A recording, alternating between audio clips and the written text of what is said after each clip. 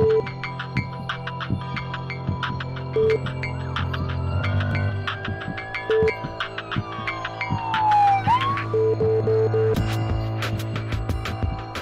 tal? Buenas tardes, bienvenidos a su programa Salud TV. Llegamos al final de la semana laboral y al final del mes, viernes 30 de septiembre, en el cual tendremos un tema diferente a otros días, porque hoy vamos a hablar de mitos y de realidades en los recién nacidos. Así que si usted está embarazada o tiene bebés pequeños o conoce familiares que tienen bebés pequeños, no se lo pierda. Veamos la cápsula y al regreso les presento a nuestros pediatras invitados.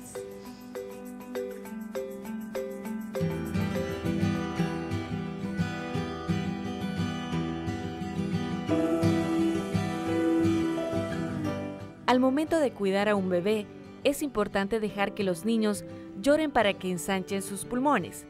Si se añade cereal al último biberón, el bebé dormirá mejor.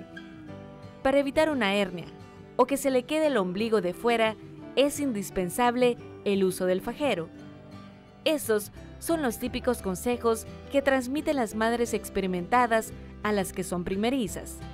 En la actualidad, se ha comprobado que existen muchas costumbres erróneas y algunas pueden ser perjudiciales a la salud del bebé. Es importante que los padres sepan que en el mundo médico existe un especialista que puede atender de forma completa al recién nacido. El pediatra neonatólogo está dedicado exclusivamente al cuidado del bebé desde el momento que nace y es indispensable su atención para verificar el desarrollo y adaptación del recién nacido al ambiente que lo rodea.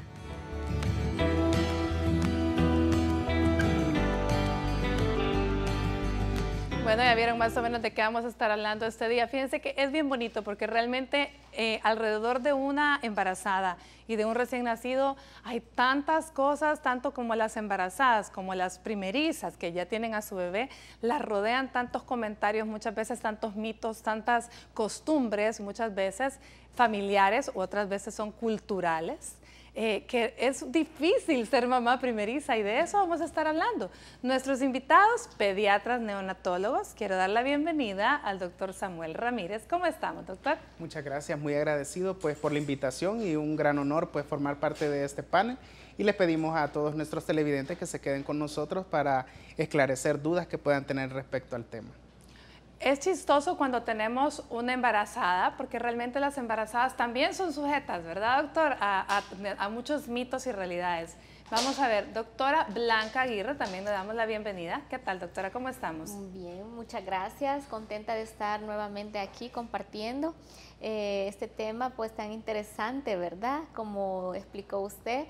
Eh, hay muchas eh, mitos y verdades que se transmiten de generación en generación, eh, de madres a hijas, ¿verdad?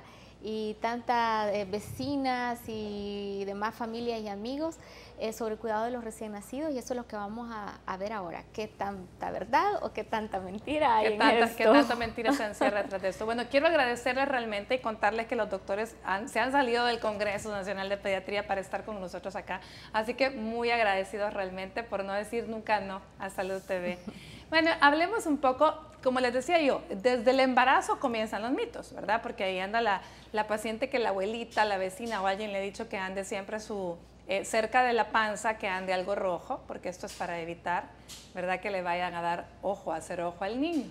Y ya no digamos cuando el bebé nace, ¿qué, otro, qué, qué, qué connotación tiene esto del ojo, del, del ojo en los niños, doctora Aguirre. A ver, cuéntanos qué es lo que ha visto usted en su experiencia que se refieren a la famosa pulserita del ojo de venado, a todas las cositas esta roja para que no les, no les pasen el ojo, ¿verdad? Cuéntanos un poco. Pues desde lo que explican las mamás es que estas pulseritas con la semilla ojo de venado es para evitar que les dé pujo o que les hagan ojo a los niños, ¿verdad? ¿Y a qué se refieren con el pujo? Esa es mi, pues, pregunta. Ellos se refieren a, ese sonido que hacen los niños como haciendo fuerza, ¿verdad? Para, para evacuar o como que ponen dura la, la pancita, dicen ellas y eh, también que debe de tener algo rojo en la pulsera para que para evitar estos mismos síntomas. El, ojo, el, ese otro, el, mal de ojo, ¿no? Eh, sí, y el y el pujo. Pero es bueno, ¿qué verdad habrá en esto? Pues ninguna ¿verdad? Científicamente, eh, o lo que se explica, ¿verdad? Estos sonidos que hacen los niños eh, haciendo fuercecita con, la, con su abdomen puede ser algo normal, ¿verdad? O sea, de hecho es normal, porque todo bebé cuando está defecando va a ejercer una fuerza abdominal, o sea, va a poner durita la panza, se va a poner rojito y va a pujar, o sea, es, es normal, esto es un reflejo, ¿verdad? Es un reflejo que, que, el bebé va a hacer, no es que el bebé tenga pujo. Obviamente, si el bebé está estreñidito y le cuesta, a lo mejor va a ser mucho más el esfuerzo y probablemente a eso se refiere, ¿no? Sin embargo, y realmente las, eh, los mitos nacen precisamente por eh, las experiencias que han vivido muchas mamás y quizás de parte de estas experiencias no consultaron y no fueron aclaradas las dudas, porque realmente son transmitidas de generación en generación. Cuando llega un nuevo miembro a la familia siempre va a generar expectativas dentro del hogar. Entonces eh, es imposible pues que no se involucren los demás miembros de la familia. Estamos hablando acá de vienen abuelos, tíos abuelos, tías y alguien más que ha tenido experiencia con recién nacidos y estos tratan de incluir eh, todo este tipo de costumbres que son de tipo cultural, porque también nuestra cultura hace que esto se vaya propagando y se vaya extendiendo un poco más. Sin embargo, lo que queremos dejar claro acá es que estos, estas dudas son las que deben ser solventadas en los momentos cuando estamos en la atención, privilegiando el parto hospitalario, porque nosotros ahí es donde tenemos la oportunidad de captar al recién nacido exactamente con la madre en ese binomio para tratar de aclarar la mayoría de dudas que se tengan alrededor de los cuidados del recién nacido y poder favorecer los cuidados en casa. Y respecto a todo lo demás que nos eh, aparece, pues realmente es una causa frecuente de consulta. Mi niño tiene pujo, mi niño tiene este, y, y, siempre llegan con la cadenita y todo este tipo de objetos que no deberíamos ponerle, porque precisamente estos objetos pueden liberarse fácilmente y obstruir la vía aérea del bebé y nosotros estar provocando el riesgo de que pueda pasar algo no muy grato en el hogar. Bueno, definitivamente cuando nace un bebé, como bien dice el doctor, es todo mundo quiere ayudar, todo mundo quiere opinar. La verdad es que las mamás, las abuelitas, por la experiencia que ya tuvieron, definitivamente lo que a ellas les funcionó o no les funcionó es lo que tratan de transmitir pero no significa que todo lo que transmiten sea acertado. Por lo tanto, es bien importante que usted como mamá, por favor, todas las dudas que tenga, se las consulte a su pediatra. Yo siempre les digo, ah, volviendo a, las embarazadas, que son en mi caso, después que tienen al bebé, uno las ve muchas veces con los tapones en los oídos, el salir con tapones en los oídos, el salir con el gorrito en la cabeza. Todas estas cuestiones son tradiciones y son mitos, porque todo tiene que no te entre aire en los oídos. ¿verdad? Que no, eh, que, que, no, no chancleteen, esa es la otra, ¿verdad? El andar en zapatos, el no andar descalza, ni mucho menos andar sandalias con las que, las que tope el talón, ¿cierto? Igual también este, incluyen dentro de esto vestir al bebé de color amarillo antes de que se vaya, el día que se va de alta del hospital, los visten casi todos de amarillo y esto incluso hasta cambia la visión del color de la piel que le podemos ver al bebé y podemos decir, este niño va bien histérico o bien amarillo, ¿verdad? Pero ¿cuál es, la, ¿cuál es la idea de la vestidura amarilla antes de salir? Créeme que lo he tratado de investigar con todo y realmente nadie nos da una, causa real o algo, algo fundamentado que nos diga, esto es por esto, ¿verdad? No. Entonces, e, a ese punto queremos llegar, que ese tipo de, situaciones, creencias y costumbres son las que se deben ir eliminando y debemos nosotros poderlas eh, resolver en el momento que el bebé se va de alta, porque ese momento es cuando ya se encuentra en casa bajo los cuidados completos de la madre y del resto de la familia. Bueno, así que no vestimentas amarillo porque lejos de que no tiene ninguna importancia realmente, por el contrario puede dificultarle eh, al pediatra una perfecta, una completa evaluación de la piel del niño y dejar ir de alta a un niño que esté amarillito y eso sí puede ser realmente un problema, así que no más vestiduras. Vamos a una pausa y volvemos con más de su programa Salud TV.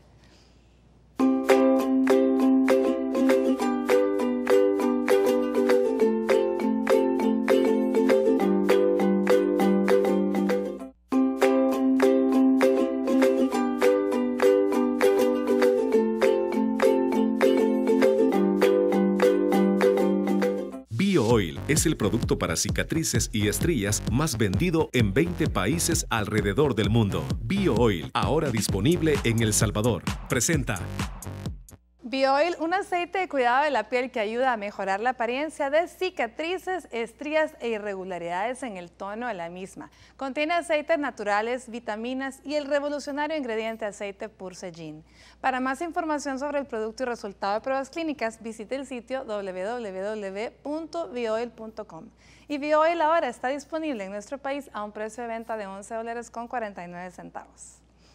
BioOil es el producto para cicatrices y estrías más vendido en 20 países alrededor del mundo. BioOil, ahora disponible en El Salvador. Presentó.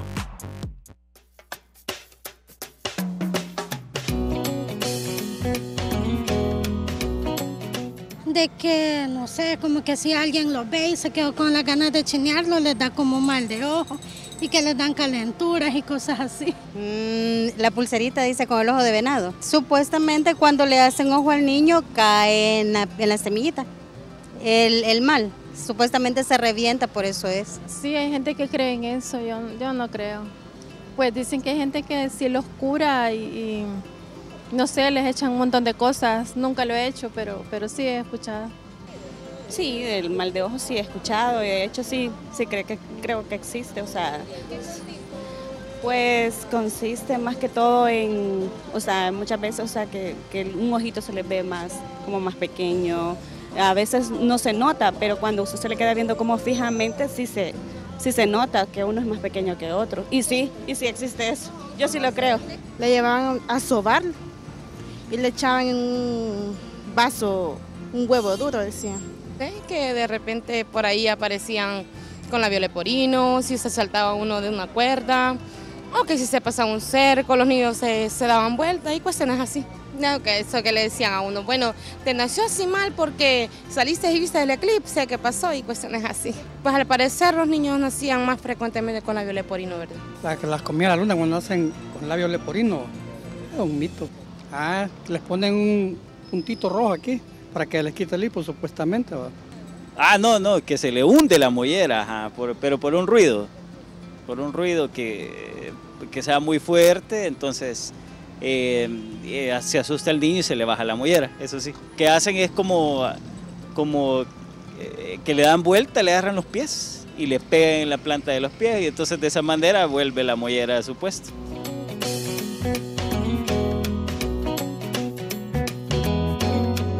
Cantidad de mitos tan interesantes. Yo quiero invitarles a que usted comparta los mitos que ha escuchado y nos los ponga en Facebook y nosotros los vamos a leer acá al aire para que podamos esclarecer también las dudas de la población que, que tiene pues ese concepto. Quiero darle la bienvenida al doctor Mario Quintero, que muchísimas gracias de verdad. Yo sé que estaba en un congreso y se han salido, de verdad, gracias. Se nos, se nos agrega a este set. Bienvenido, doctor. ¿Cómo estamos? Un gusto, un gusto estar aquí como siempre. Bueno, y estamos hablando de los, de los mitos ahora y de la realidad del recién nacido. Yo sé que cada uno trae cualquier cantidad, ¿verdad?, de, cosas que, que, hemos escuchado. Cuéntenos algunos, los que usted ha escuchado más frecuentemente. Bueno, de los que están en, en contra del recién nacido es que la leche de la mamá le dicen que no le va a llenar y que se quedó insatisfecho. Pero en realidad hay que hacer énfasis que la lactancia materna es lo más importante para el recién nacido. Y si no le da lactancia materna exclusiva, eh, casi siempre es porque alguien le ha dicho de que su leche no lo llena. Y eso realmente es un mito. Eh, debería de saber la mamá que desde, más de, desde que la humanidad tiene existencia, la lactancia materna ha ayudado a que los recién nacidos sean sanos, ¿verdad? Y de hecho, desde la antigüedad, eh, si no podía darle leche, ponían a una nodriza. Entonces, ese mito hay que, hay que luchar contra él. Sí, fíjense bien, era una nodriza, era otra mujer que podía lactar, no le iban a traer una vaca. Ajá. O sea, definitivamente no era eso lo que hacíamos. Bueno, realmente existen tantos mitos alrededor y estábamos viendo en el sondeo algunos de ellos y uno que es muy común es el que la gente que tiene que chinear al niño, tiene que cargar al niño como lo conoce porque si no le va a dar ojo. Y preguntábamos acá, mm. defíname, defíname qué, es el mal de ojo. Y ya pues pedimos ayuda a la mamá acá y ya nos dijo que era diarrea y fiebre si no chinean al niño. Pero ¿y de dónde, verdad? O sea, definitivamente son creencias que, como bien dice el doctor Ramírez, probablemente han surgido de experiencias negativas o de una mala experiencia y lo tomaron como esto siempre pasa, porque no lo chineó, le dio fiebre, pero no es así, no tiene nada que ver. Precisamente, y de, de, la definición podemos sacar que son realmente los signos y síntomas de alarma de los cuales se le advierte a la mamá a la hora que se va de alta de qué es lo que debe vigilar en su bebé mientras lo tiene en cuidado en sus primeros 28 días. Y es precisamente esto, un bebé que no come, que tiene fiebre, que luce mal, que se ve deshidratado, es porque está una patología latente dentro de él y que nos está originando este tipo de síntomas. No es que tenga ojo, tenemos que buscar una causa de esto. ¿Fiebre puede haber en el recién nacido? Sí, hay fiebre en el recién nacido, pero ¿qué causas pueden eh, darle fiebre a los bebés? La hay causas infecciosas, en primer lugar, porque eso es como lo más riesgoso para todos nosotros y lo que obliga a una evaluación clínica rápida y efectiva.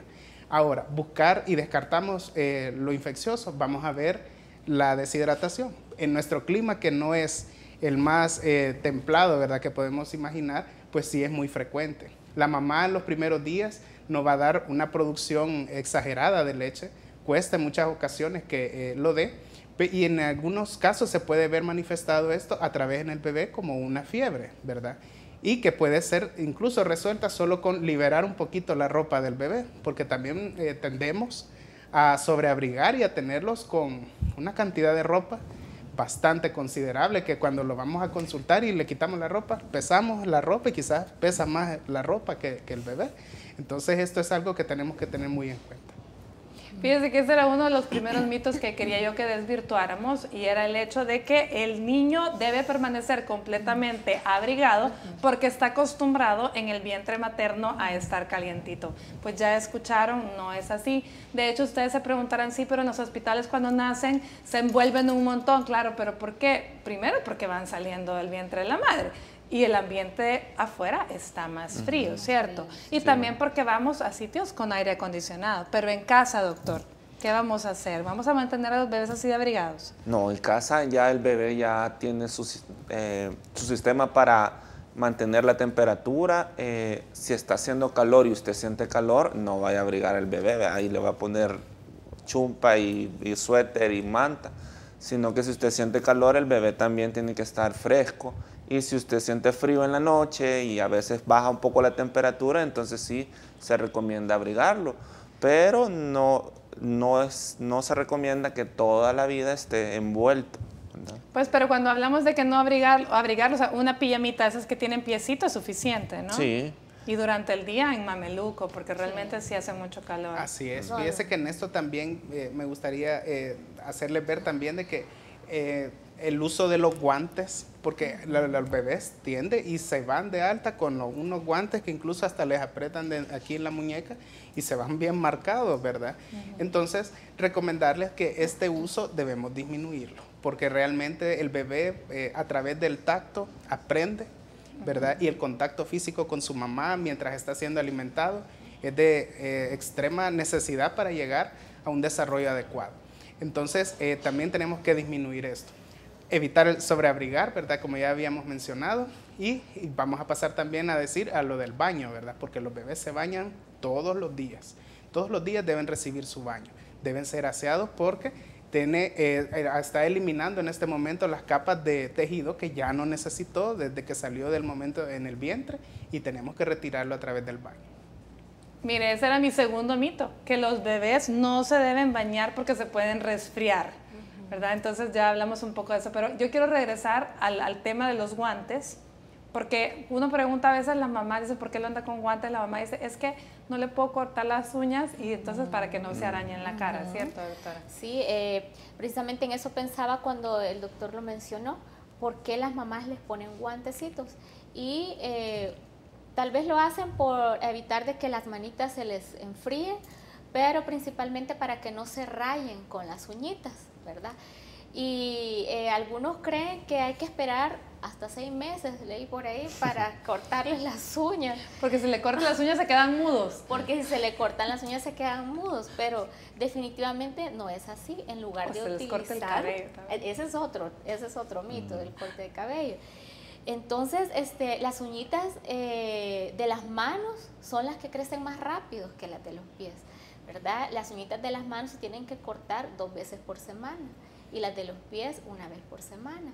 Y, se, y se tiene que hacer con un corta uñas pequeño, ¿verdad? Para bebé o con unas tijeritas de puntitas redondas pequeñas cuando el bebé está dormido para que no se mueva y sea más fácil recortársela, ¿verdad? Con una buena luz y recortárselas con cuidado para no lastimar la piel de los pulpejos de los deditos, ¿verdad? Y así pues este, evitamos el uso de los guantes que si se los ponemos vamos a evitar su desarrollo motriz en las manitas también. Entonces, doctor, dijimos que sí se deben bañar todos los días. ¿Recomendaciones? ¿El agua al tiempo o el agua calentita o solo con esponja, con toallita? Pues eh, se recomienda que sea agua eh, tibia, que, se, que la temperatura la midan con el codo, porque a veces si tenemos la mano helada sentimos la, la temperatura caliente y si tenemos las manos calientes sentimos... Entonces la mamá tiene que tener, eh, tiene que hacer con agua tibia, tiene que probarla con el codo y eh, tiene que ser un baño rápido que no esté expuesto a corrientes de, de aire. También el baño no tiene que ser frotado a esta altura con un suave masaje y con un jabón que sea hipoalergénico, es decir, que no tenga mucha fragancia ni que tenga mucho olor, es suficiente para, para siempre antes, los primeros 8 a 10 días que no ha botado el cordón, tratar de no mojarlo. Y luego ya que el, cordón se ha caído, el, el muñón umbilical que, que, ha quedado se ha caído, entonces ya lo puede bañar completo. Excelente. Bueno, el siguiente mito creo que ya hablamos un poco era todos deben chinear al bebé porque de lo contrario le va a dar pujo.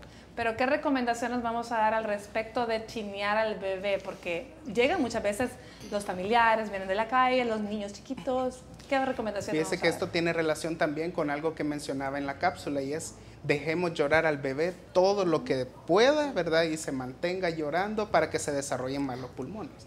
Y es que el bebé se va a manifestar a través del llanto, es la única forma que tiene, ¿verdad? Para poder eh, relacionarse con el medio externo y poder nosotros saber sus necesidades.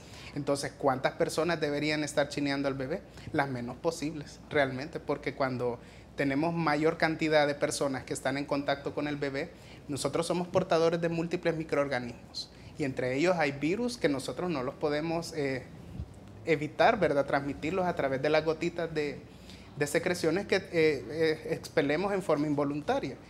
Eh, por eso es que se recomienda quizás la menor cantidad de personas en contacto con los recién nacidos. El llanto se va a deber a casi cualquier cosa, porque quieren que lo chineen, porque quieren que lo cambien, porque le aprieta alguna prenda de, su ropa y pues tenemos que hacerle caso, ¿verdad?, a este llanto y descubrir qué es lo que se necesita. Pero realmente la cantidad de personas que va a chinear aquí al bebé, los papás lo van a determinar porque ellos son los que van a decidir cuántas personas pueden estar dentro de la habitación, si todas estas se han lavado las manos adecuadamente y van a entrar en contacto con el bebé, y si los demás están libres de cualquier infección respiratoria, ¿verdad? En ese momento, para tratar de evitar contagio en el bebé. Importantísimo, por favor, si vamos a visitar a una familia con un bebecito recién nacido, definitivamente lavarnos las manos, ¿verdad? Tratar de no llevar muchas fragancias y ponernos la, la frazadita que la familia tiene para que nosotros podamos cargar al bebé para no transmitirle olores y bacterias. Y algo importantísimo, por favor no le toque las manos al bebé, ni permita que sus niños pequeños le toquen las manos al bebé porque se las lleva la boca. Vamos a una pausa comercial y venimos con más mitos y realidades de los recién nacidos.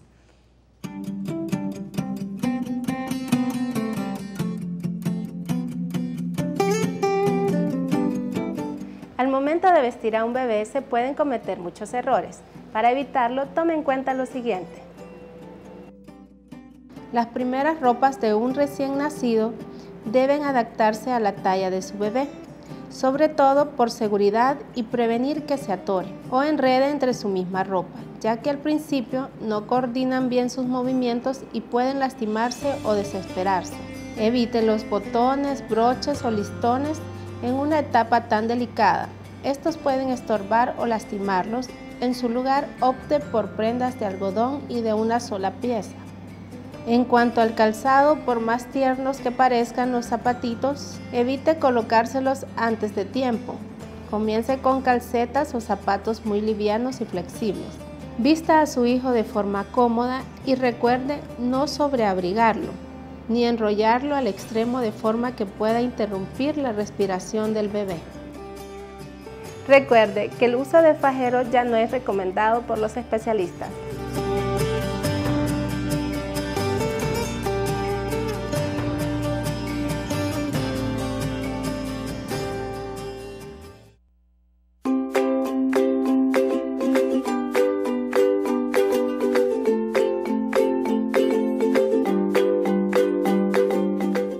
Gracias por continuar con nosotros. Estamos hablando de mitos y realidades del recién nacido, pero antes de continuar con nuestro programa, quiero darles un mensaje del Hospital de Diagnóstico y la Asociación Salvadoreña de Cardiología en el marco de la conmemoración del Día Mundial del Corazón el 29 de septiembre, es decir, ayer, pero hoy es 30, así que seguimos celebrando y veamos la cápsula.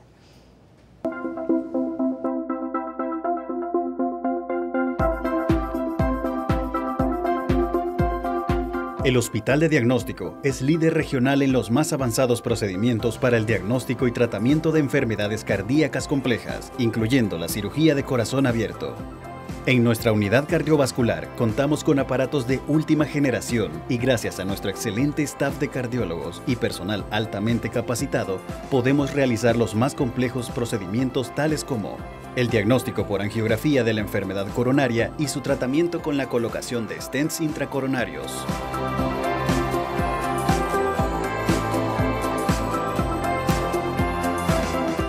Somos el único centro en la región que ofrece estudios de ultrasonido intracoronario y de medición de flujo residual coronario.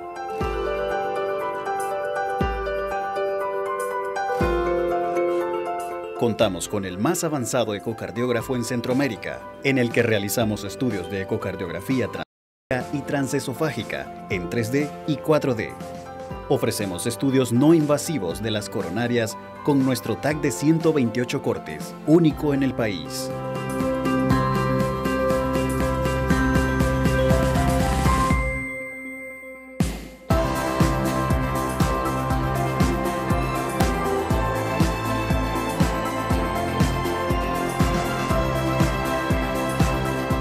Y recientemente hemos incorporado estudios de resonancia magnética cardíaca, los primeros efectuados en Centroamérica.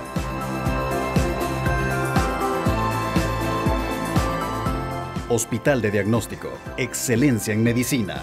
Para mayor información, llame a los teléfonos 2506-2000 y 2505-5700. Bueno, gracias al Hospital de Diagnóstico, ya vieron con toda la tecnología que ellos cuentan para cuidar de nuestra salud. Continuamos con nuestro programa y tenemos el siguiente mito que también es muy frecuente, el que habla de que si no se le pone fajero al niño, se le va a salir el ombligo, doctora. Sí, eso es algo, eh, el fajero es algo muy utilizado, ¿verdad? Todos los niños que salen del hospital van con su fajero y con su pijamita amarilla, como decía el doctor. Este, es algo bien arraigado en, nuestra cultura, eh, el uso de fajero, pero en realidad ya está descrito en literatura, en textos internacionales esto. Eh, lo han utilizado por muchas generaciones para evitar el que el ombliguito se, salte, es decir, para evitar que se haga una hernia ¿verdad? En, el, ombligo. Pero en realidad, eh, si un niño va a presentar una hernia, la va a presentar, se ponga o no se ponga el fajero. O se ponga la moneda tampoco. Exacto. Así tal cual está descrito que el uso de cinturones, es decir, los fajeros apretaditos, o el uso de monedas forradas pegadas sobre el ombligo, o el uso de incluso canicas forradas y pegadas sobre el ombligo, nada de eso va a evitar eh, una hernia porque eso, eso se debe, la hernia se debe a un defecto con el que ya nace el niño, ¿verdad? Y es algo que hay que esperar que el niño crezca para que sea evaluado si va a necesitar una corrección o no. ¿Verdad? Porque muchas veces con el tiempo el niño va creciendo, dos, tres años. Y el defecto se cierra. El defecto se cierra, los músculos de la pared abdominal se afrontan ellos solitos y desapareció el defecto. Entonces, si usamos un fajero, eso está limitando al recién nacido a que tenga una respiración normal, ¿verdad? O a que si ya esté, tomó su pachita o tomó el pecho, se llenó y el niño ya se siente apretado con ese cinturón, ¿verdad? Bueno, es que ustedes tienen que tener en cuenta algo, que los niños son chiquititos ellos tienen una respiración no torácica como la del adulto, o sea, no respiran con el pecho, que usted inspira y, expira y esto es con el pecho. Los bebés lo hacen con el abdomen, o sea, su respiración es más abdominal, por lo tanto, cualquier cosa que le ponga socándole literalmente la pancita, lo único que va a hacer es no lo deja respirar bien y le va a hacer que regurgite la leche más rápido de lo que lo hubiera hecho y en mayor cantidad. Así que el pajero descartado. Veamos nuestro siguiente mito. El agua de culantro ayuda a que saque los gases. Doctor Quintero, ayúdenos con eso. Hay, bueno, este es un mito. Eh, hay gente que les da ajo, les da aceite de oliva. Eh, todas las sustancias que no están aprobadas para el recién nacido son, tienen la capacidad de contaminar y tienen la capacidad de, de darles diarrea.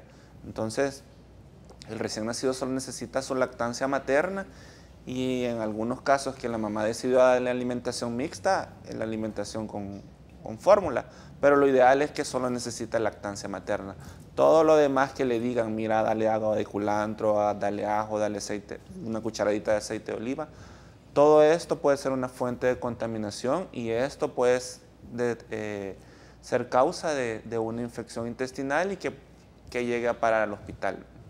Excelente, bueno, así que ya vieron, eso está descartado, eso es un mito. Si le funciona a la gente grande o cree que le funciona, pues es otra cosa, pero por favor a los recién nacidos dejen de andar inventando. El siguiente mito que tenemos, y este es bien frecuente y por eso es que tenemos muchos niños bien gorditos, que la gente dice, si el niño llora es porque tiene hambre. Ah, doctor Samuel, ayúdenos. bueno, ya habíamos tocado previamente el punto, ¿verdad? el llanto del recién nacido va a responder a una necesidad que en ese momento pues está teniendo. La más importante y una de las principales que muchos papás incluso obvian en el momento es que el bebé quiere comer. El bebé, el recién nacido, va a comer a libre demanda a la hora que quiera, cuantas veces quiera, cuando quiera, en la forma que quiera y teniendo a su mamá pues a la par. Entonces eh, el bebé se va a manifestar precisamente llorando esto, la mamá siempre va a aprender a identificar las tonalidades del llanto, qué es lo que presenta, qué es lo que tiene, va a saber identificar con el tiempo y en la forma cómo es la necesidad de este bebé. Puede ser que solo necesite un cambio de ropa, que está mojado, que está eh, sucio y que necesita nada más cambiarle su pañal y no necesariamente hacer apetito. En muchas ocasiones, eh, se, refiere quizás eh, esto a la sobrealimentación que se puede tener en cuanto a los bebés. Esto puede ser eh, sobrevalorado también, el apetito, el hambre del bebé. El bebé si está satisfecho va a dormir y el bebé duerme muchísimas horas en el día, especialmente en los primeros 28 días. No va a tener eh, la misma forma o, la eh, percepción del tiempo que tenemos nosotros en este momento como adultos, ¿verdad? Entonces no diferencian día, noche, sino que cubramos necesidades básicas dormir, hago mis necesidades, duermo. Dormir, necesidades, duermo. Y así se va a ir eh, adaptando un poco más. Sí, con el paso del tiempo y cuando va creciendo un poco más el bebé, entonces se va adaptando a cierto tipo de rutinas que eh, también van ajustándose a las necesidades que va teniendo el bebé según su edad. Y hay un detalle, doctor, fíjese que usted acaba de decir, el bebé llora porque tiene, cuando tiene hambre o como que es pollito, tiene hambre, tiene frío, tiene calor, o sea, definitivamente tiene una necesidad. Muchas veces es de afecto y con solo tal vez escuchar la voz tranquilizadora, un arrullo de la madre. Pero nos dice, y si está llenito, por lo general duerme. Pero ¿qué tal si el bebé está demasiado lleno y tiene cólico y no puede dormir? Entonces igual va a estar llorando y usted le vuelve a dar de comer Precisamente, entonces vamos a la siguiente parte. Cuando lo hemos saciado el hambre o el apetito, siempre debe sacarse los gases. Porque siempre a las mamás, y en muchas ocasiones se les olvida, se les quedó dormido el bebé y ahí quedó. Pero no se hizo eh, las maniobras necesarias para poder sacar adecuadamente el aire. Y el aire deglutido sí puede generar cólico, distensión abdominal, dolor, malestar y vamos a perpetuar el llanto. Entonces se vuelve un círculo vicioso que no vamos a poder eh, romper adecuadamente y se va a seguir prolongando. Causa también de consulta el llanto incontrolable, que esto nos obliga a nosotros a descartar este tipo de malas prácticas o un cólico infantil. Así que si usted estaba dando de mamar a su bebé y se le quedó dormido, no importa, si dormidito, sáquele el aire, por favor, créame, le va a hacer un gran favor y va a evitar que llore por un cólico, una causa menos de llanto. Y ya volvemos a hablar más de llanto y otras, otros mitos y realidades de recién nacido. Vámonos a una pausa comercial.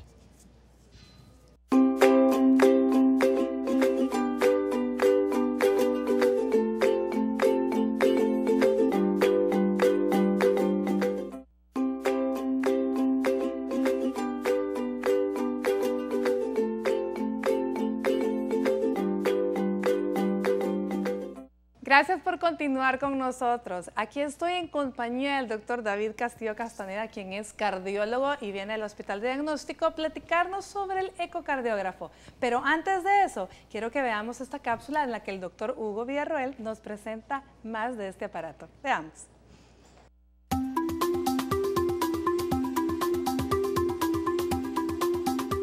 La tecnología siempre está al servicio de la medicina para el diagnóstico oportuno de diferentes condiciones. Una de las técnicas que ya cumplió más de 60 años en medicina es la ultrasonografía.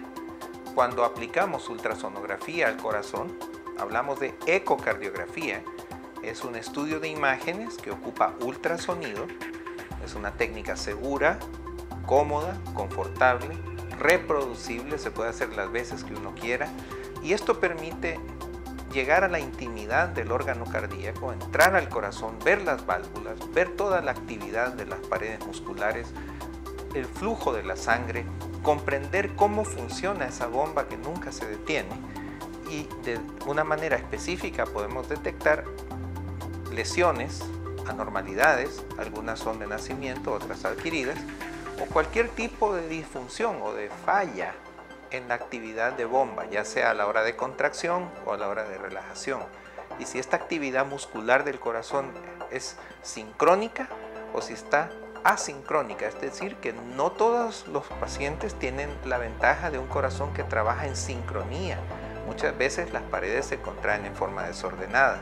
O tenemos lesiones adquiridas por el envejecimiento o por los llamados factores de riesgo, como la aterosclerosis, en las que las válvulas se van endureciendo, tenemos paredes gruesas, rígidas, tenemos una contracción debilitada o aún segmentos del corazón que mueren, por ejemplo en el infarto, y que ya no contraen y por lo tanto debilitan el funcionamiento general del órgano.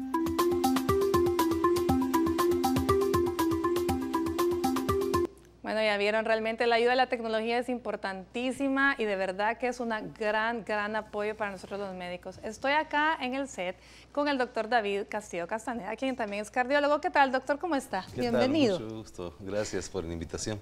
No, gracias a ustedes por estarnos acompañando. El lema del hospital dice, lo que su corazón necesita, pues lo que su corazón necesita es cuidarse, ¿verdad? Sí. Háblenos más sobre el ecocardiógrafo y sobre todos los, los estudios que tenemos en el hospital disponibles para poder eh, diagnosticar, apoyarnos e incluso tratar, ¿verdad?, algunas enfermedades cardíacas.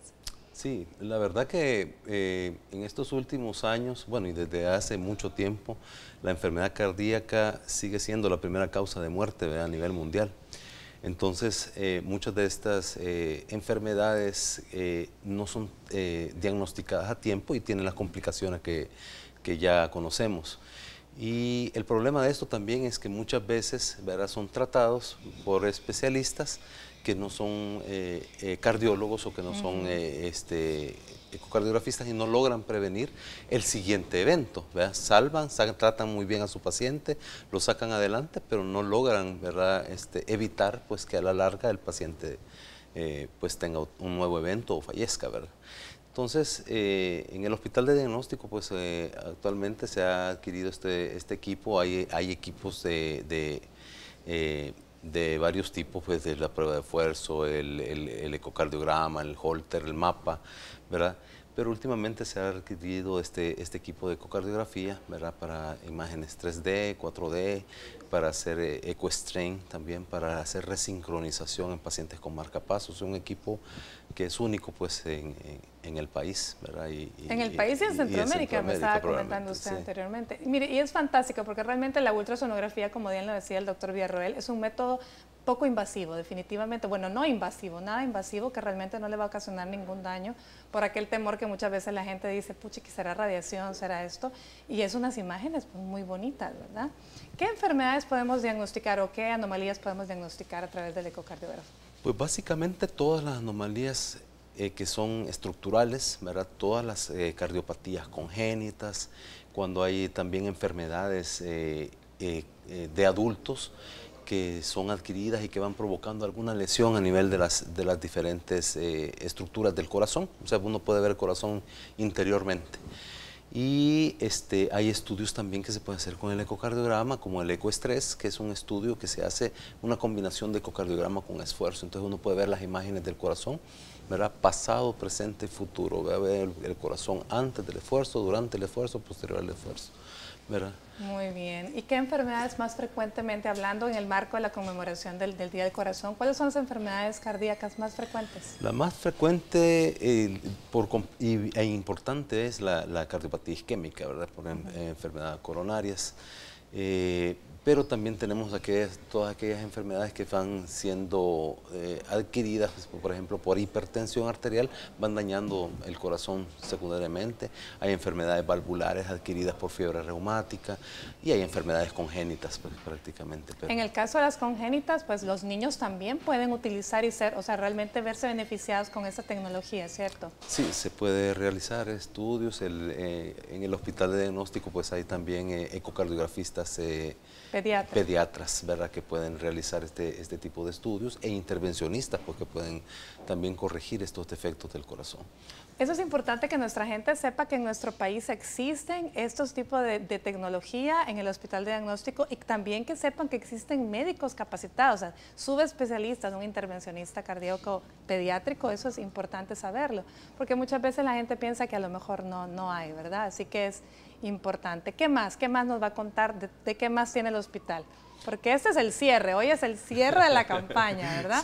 ¿Qué más vamos a contar? Bueno, este, en, el, en, el, hospital pues prácticamente hay para atender cualquier tipo de, enfermedad cardíaca, eh, está equipado para, tal, hay especialistas en el área, se pueden hacer este, intervenciones eh, eh, tanto quirúrgicas como por cateterismo cardíaco para reparar enfermedades del corazón, ¿verdad?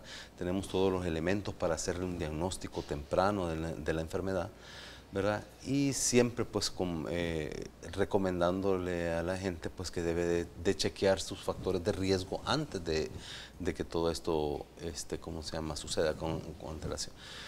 Eh, eh, también tenemos ahí en el en el marco pues, de, este, de, esta, de esta campaña también del, del, Día Mundial del Corazón, ¿verdad? se han hecho varias actividades pues, de, parte de la Asociación eh, Salvadoreña de Cardiología. Sí, los vimos que estuvieron haciendo ejercicio en la fuente de Beethoven, de verdad, felicidades.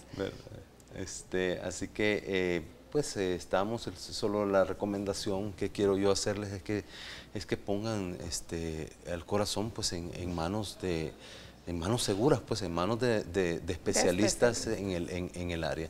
O sea, nuestros colegas eh, de otras áreas pueden perfectamente tratar una enfermedad del corazón, pero lo importante es ir más allá, ¿verdad? O sea, salir no solamente del problema y la complicación, no que tratar de que ese corazón pueda ser... Eh, y de prevenir que se vuelva a dar un evento. Bueno.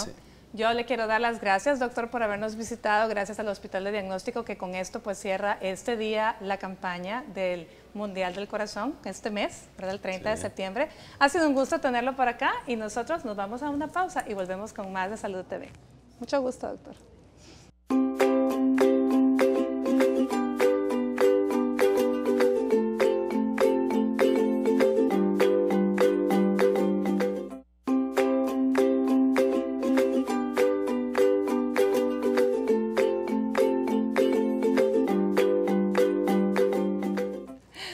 Bueno, realmente el tiempo se nos ha ido tan rápido, tenemos tantos mitos y tantas cosas que compartir, pero así es, es muy poquito el tiempo que tenemos. Doctora, recomendaciones para las mamás, por favor, su recomendación puntual. Bueno, las mamás en general y especialmente las primerizas, eh, que reciben tantos consejos de todas sus amistades con muy buenas intenciones, escuchen, pero consulte con su pediatra eh, sobre la verdad de estos consejos, ¿verdad? Y eh, para que pueda actuar sabiamente con su recién nacido. Y principalmente que nada de lo que hagamos vaya a ocasionar ningún daño en nuestros hijos. Eso es importantísimo. Se terminó el mes, mañana es primero de octubre, Día del Niño. Por favor, saque ese niño que lleva adentro. Y si tiene la bendición de tener niños pequeños en su casa, apapáchelos, cuídelos, denles todo su amor, porque pues son la alegría, son la alegría de nuestro hogar. Y ustedes hay que aprovechar esa bendición. El niño que llevamos dentro hay que sacarlo, hay que celebrar. Todos los lunes vamos a tener programas de cuidado infantil durante el mes de octubre. Bueno, les deseo un feliz fin de semana, que Dios los bendiga y nos vemos el lunes con dermatitis infantil. Gracias, doctores.